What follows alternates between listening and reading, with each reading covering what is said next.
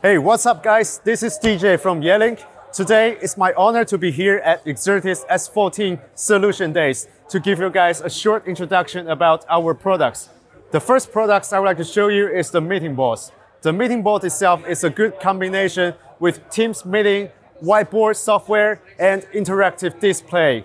So here we have a 4K camera on the top. We have 16 MEMS microphones to enable super large voice pickup range, as well as we have six speakers to give you a perfect sound environment.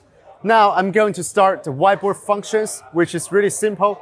Basically just touch it. And then we can write something. S14, okay? And then we can start the meeting.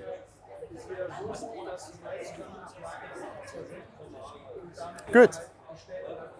Now I'm going to move to the next products. This is the most innovative products from Yealink. We call it Smart Vision 60. It has the two 180 degree cameras combined all together to give you a 360 degree.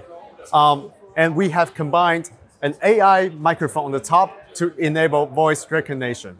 We also have six MEM microphones to enable about six meters voice pickup range. So this one is perfect for medium room.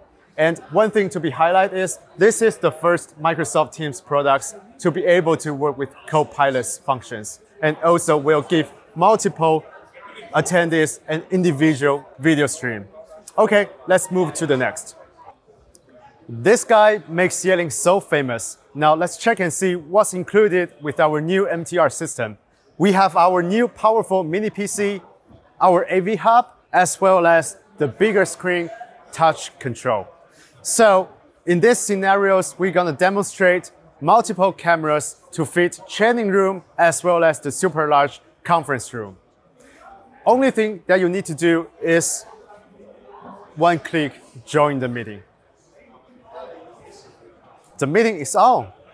This camera is the tracking cameras. So if the teacher is standing on the stage, once he shakes the hands, this camera will follow the teacher. And this one will be the cameras to, fo to focus on the students. So if the teacher wants to stop following, only have to do is to put on hold gesture and this one will stop follow you. Something to new is that we take out the sensor. So the sensor will help us wake up the system as well as wake up the TV directly because we have CEC chipsets building. That's also a very good feature and very enhancement of customers' experience.